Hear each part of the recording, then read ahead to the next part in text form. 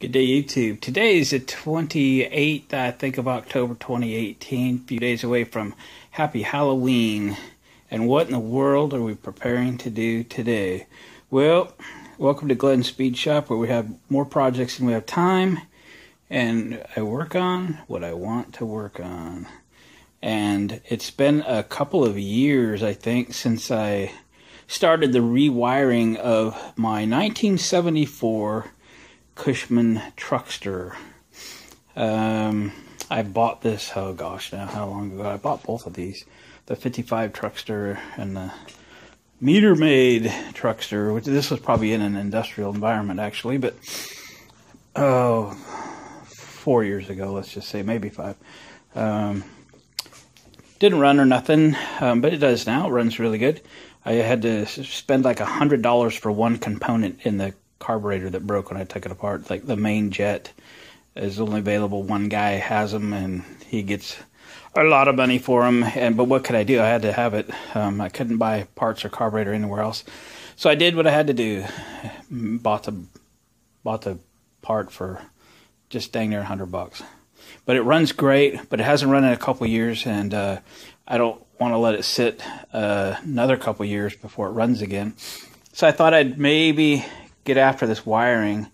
I don't know how long I'll work on it today. Um, I'm kind of getting a late start, but I had a few little projects to do. Um, and I can't remember where I've left off. Luckily, though, you can see I made myself some notes as I was tracing out the wires. Hot. And when I was up here, I see I've lifted myself some notes. Green, relay, red, hot, pink, start. Oh, look at that white with green, black on. I can just turn it on my notes. And there's a switch for something. I know I put a little light in it in the cab. Um, turn signals were there, headlight here. I wish I could do something different for a headlight because I don't have the ring that attaches the bulb to the base there, but I'll come up with something. Um, I know I got a, a new speedometer cable, um, turn signal flasher. The back lights are already LEDs. They were actually LEDs when I bought it, which is cool. And remember, it's completely full of gas. The gas gauge doesn't work. I want to correct that. Excuse me, eventually.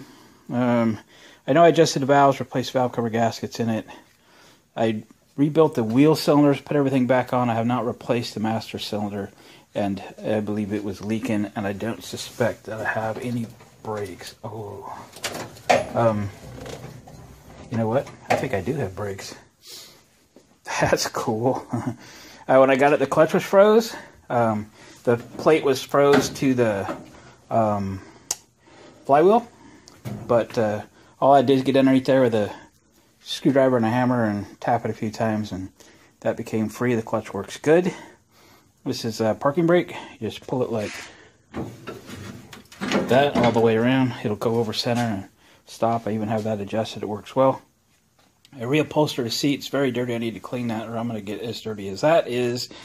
And maybe pick up a few tools that are still sitting around in here. I'll have to go online and find something for turn signals. Definitely want them to be LEDs. Big obnoxious It'd be fine. Um, and I I remember bolting some angle iron to there because there well, used to be a front fender on this thing, but it is gone. The front end of this thing was just mashed. I spent a whole day banging this out and kind of bolting things back together. It, will never be great, but uh, I'll just uh, like spray bed liner the thing, and who will care? I do have the rubber seal to uh, redo the windshield because I bought a hundred feet of that stuff. I believe I even put a new wiper blade on it. Yeah, new wiper blade, and the wiper works. The wiper works. Um, I guess it's got a little motor on it. Yeah, see there. These were licensed for the street. I believe they go 40, 45 miles an hour. Might be scary. And believe it or not, somewhere in here is the speedometer. Uh, this thing's gone over 50,000 miles. Yeah, 50,000 miles on this little thing. Unbelievable. But true. The fenders are not the greatest shape. I have straightened them out best I can. Had these rub rails on them. I straightened them out best I can. Or as good as they're going to get. How about that? The bed's actually pretty straight. Tailgate's nice and straight. The battery's over there. I got it on the charger. Um, I think it's coming back okay. Um, the back of the cab is decent straight. Top's okay. You know, it's just average. Um, not much rust in it or anything. So I'm going to start fiddling around with the wiring here today, this morning, and see how far I get. Um, my goal for the day maybe isn't necessarily finish it up, but get a list of um, things I need to order for it. I see it's got a, a heavy duty uh, flasher for the turn signals. And when you run all LEDs, it's going to have to be an electronic one because there's not enough current draw to heat up the the bimetal element in the flasher and make it flash. They'll just come on and stay on unless you run incandescent bulbs. But why do that? So I'll order electronic flasher, figure out what kind of lights I can get to cover the holes there. These are access holes. Yeah, they're pretty munched. So I make bigger plates for them. It'll cover up the rest of the crud. Uh, this is a air conditioner. Yeah, see there? It's uh, the linkage is all here. It's just unbolted for the moment. So there's something to start on. I should be doing well. There's all kinds of things I could do around here, but again, I work on what I want to work on. And lately, I've uh, rewatched probably for the third time uh, my I guess my number one favorite uh, YouTuber, Mustie1, um, has a, a, newer version of this Cushman. It has doors and a heater and everything um, that he got from UDizzy, and I think uh, that inspired me to get this wiring buttoned up so that it can start this and uh, move it around under its own power kind of deal. This one does run and ride too, but it hasn't been started in as long as this one. So maybe I'll get them both started and run. Um, maybe I need to change the fuel out or stuff like that because I don't want the carb to go bad again. Um, I've cleaned it up and it runs great, idles great, um, no problems. It's a great shape, original air cleaner, put new air filter in it. Um, has original mechanical fuel pump. Most of them been changed to electric by now, and this one might be uh, needing to be have that done eventually too. So there we go. Um, 74 Cushman Truckster. Let's get into the wiring and I'll come back when I have something to show you. And we're back. It's actually probably been a few hours. Um, and I took a little break, went and grabbed some lunch. So I have the ignition switch items sorted out. This had a plug-in you know, a, a, large multi-conductor plug that plugged into the back of the original ignition switch, and most of the uh, connections were corroded, melted. They were pretty bad. I, you know, after a couple of years, I kind of forgot what I had going on in here. Over in this little pocket over here, I had an ignition switch with a key, and I started to install it, thinking that's what I had planned. And as I started to sort out the switch. I had the hot wire connected to it and had my test light looking at uh, what position the switch needed to be in for on, accessory, start, etc. And nothing worked. So I threw it away and thought I was going to run down the store and get one. Then I remembered I had this box sitting over on the uh, shelf over in my garage that had a it was a green box. I probably checked it, and uh, it had an ignition switch in it. It's a uh, doesn't have the accessory position when you rotate to the left, but it has an on position and a start. Good enough for this. So I had to extend some wires, fix some wires, shrink tube some wires. I think I have it all sorted out, um, and it does now uh, go on. Right now the light's on because I have it on a toggle switch, which is hanging out the front I think it goes in that hole. So, it's been at least two years since this thing has run. But, I think it is high time that it run again. And uh, it does crank, but I haven't tried to crank it enough to start it. This still has a mechanical fuel pump in it, so it's going to have to crank a while. to get fuel up to the carburetor. It is full of fuel because I remember overfilling it. Spilled out everywhere. But I'm sure the carburetor is completely dry of fuel. But I don't think it'll take too long to pump fuel up in it. But, you know, you never know. It's been a while. Uh, check to see how much memory card I got. Okay, yeah, we got 20 more minutes worth. That's cool. So let's try to crank it. Let's see if this thing will run.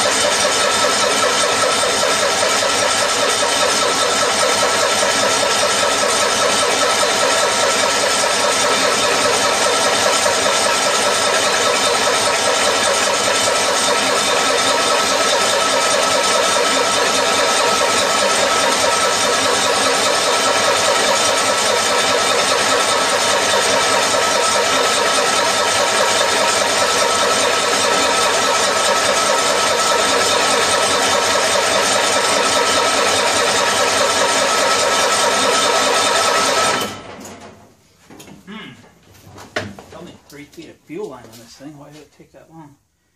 Try how the seat works. Nothing in the filter yet.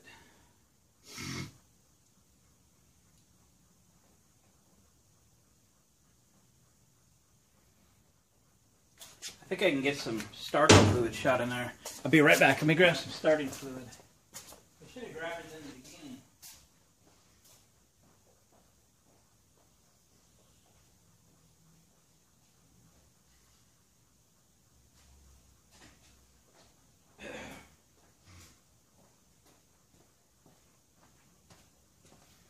The air cleaner's still attached. Get you a little closer.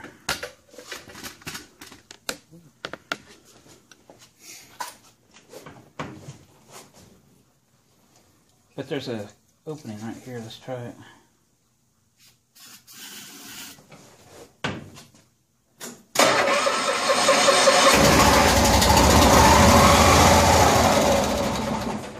Nice to hear it run again. I redid the exhaust too. There's still no fuel in the fuel filter.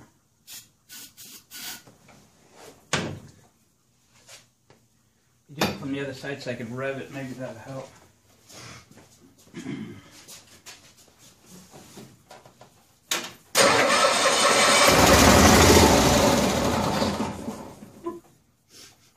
hmm.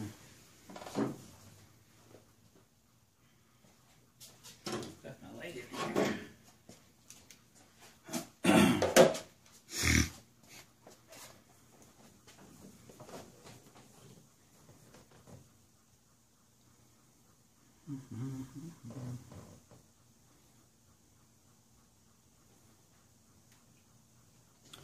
Well, I tell you what, I think I'll shut you off for a second, and uh, I might have to rig something here. Some way or another, I'm going to have to get the fuel up there. And if it's all air in the line, you know, air doesn't like to pump. So I might take air compressor or something, pressurize the tank to get a little uh, fuel in the filter. Check back with you in a minute. Okay, I've been uh, shooting some air in the tank with a rag on top.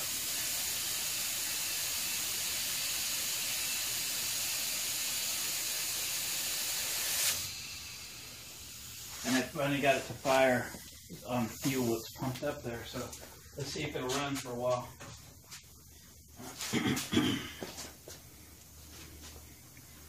Move you over here.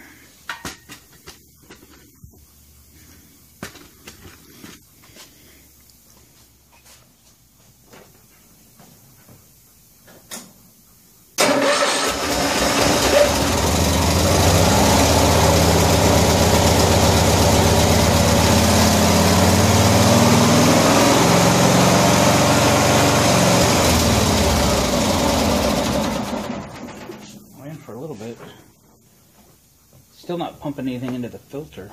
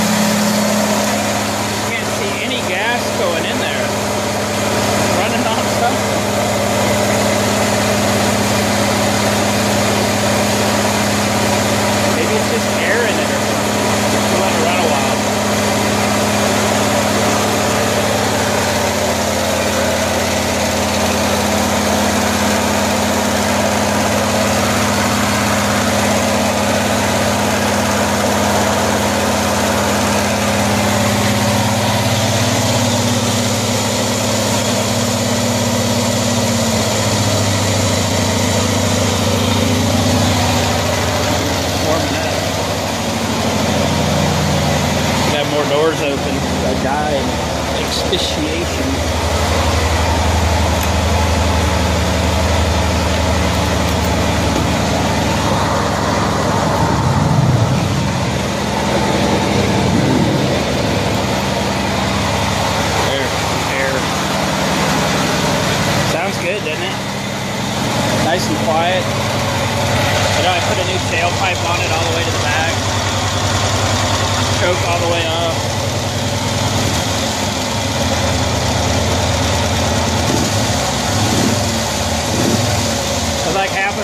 in it, which is essentially what it is.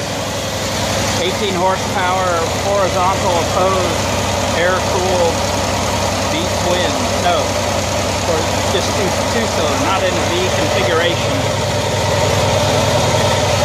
Early Volkswagens were 36 horsepower flat fours.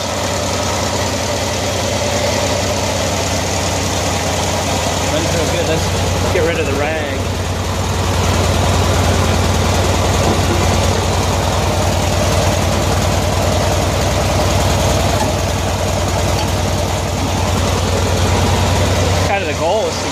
running today.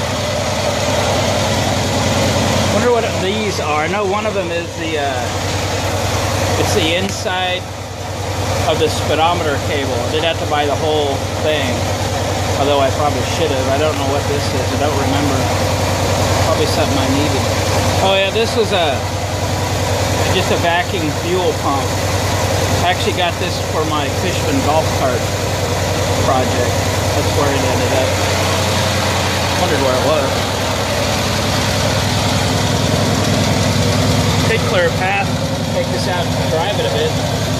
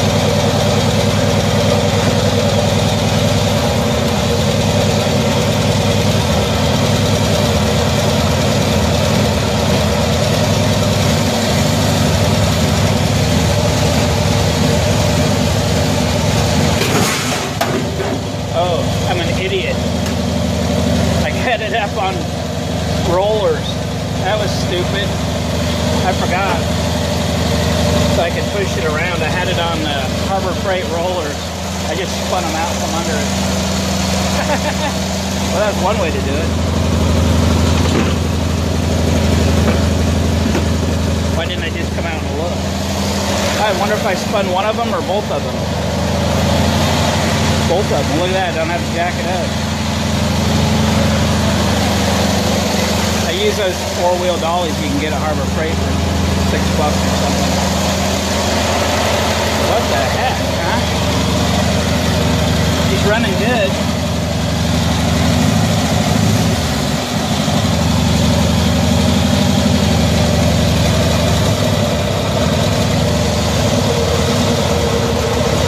Still a little stiff.